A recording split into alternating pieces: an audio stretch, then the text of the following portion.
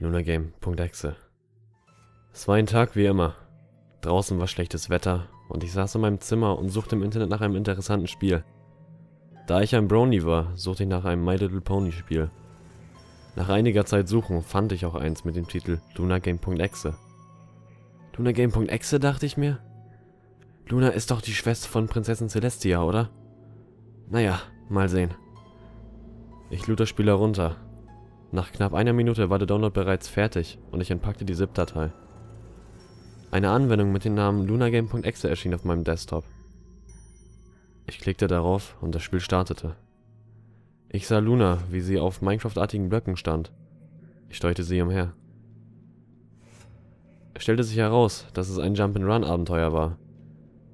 Doch nach einiger Zeit Spielen erschien auf einmal ein gruselig lachendes Gesicht von Apple Bloom auf meinem Bildschirm. Ich schrie erschrocken auf.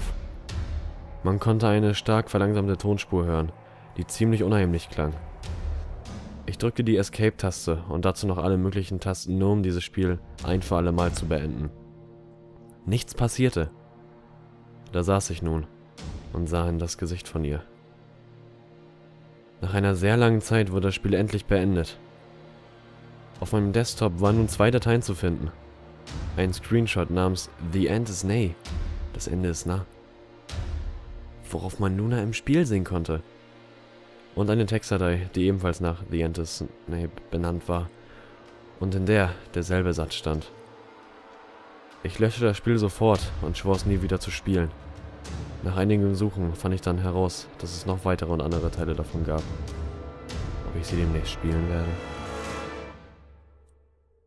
Ich entschied mich einige Minuten später dazu, ein weiteres Spiel von lunagame.exe zu downloaden. Wieder zu derselben Downloadzeit entpackte ich die ZIP-Datei und alles schien mir recht unheimlich. Als ich das Spiel startete, wiederholte sich immer und immer wieder eine Sequenz, wie aus dem ersten Spiel. Und wieso, ist mir selbst jetzt noch unklar. Ganze vier Male öffnete ich das vermeintliche Spiel und plötzlich geschah etwas Unheimliches. Mein Bildschirm ging ohne Warnung aus und schaltete sich danach wieder an. Das Spiel war geschlossen, aber auf dem Desktop war eine GIF-Datei. Ich schwankte lange in der Entscheidung, ob ich sie jetzt öffnen soll oder sie direkt lösche. Ich entschied mich, diese zu öffnen, was sich im Endeffekt als großen Fehler darstellte. In dieser GIF-Datei war wieder dieses Bild von Luna, Sofort schloss ich die Datei und von meinem PC herunter.